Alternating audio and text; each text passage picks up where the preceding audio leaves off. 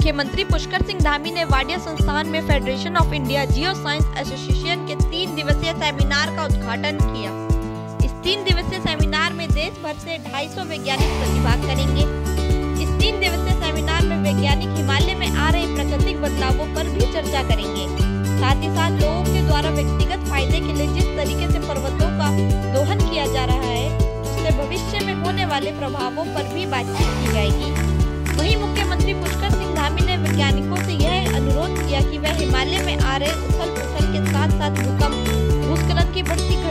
भी गंभीरता से चिंतन करें, ताकि इससे होने वाली विभीषिका से बचे जा सके।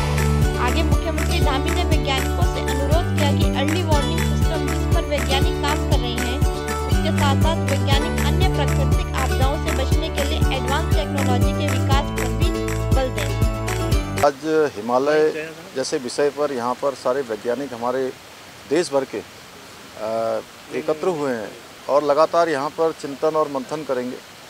तो मैंने उनसे अनुरोध किया कि जहाँ वो अनेकों अनेक विषयों पर सस्टेनेबल डेवलपमेंट पर बात करेंगे इकोलॉजी पर बात करेंगे, पर्यावरण पर बात करेंगे, वहीं जो हमारे यहाँ की प्रमुख समस्या, जो प्रत्येक वर्ष आने वाली समस्या है, आपदा पर, भूस्खलन पर, और साथ ही साथ जो भूकंप भी जो है हमारे लिए चुनौती है, उन सब पर भी चर्चा करें, उस पर बचाव के क्या रास्ते हो सकते हैं, पहले हमको कैसे जानकारी मिले, जिससे कि नुकसान को कम किया जाए, लोगों के जीवन को बचाया जा सके और ज़्यादा मात्रा में होने वाली हानि को कम किया जा सके।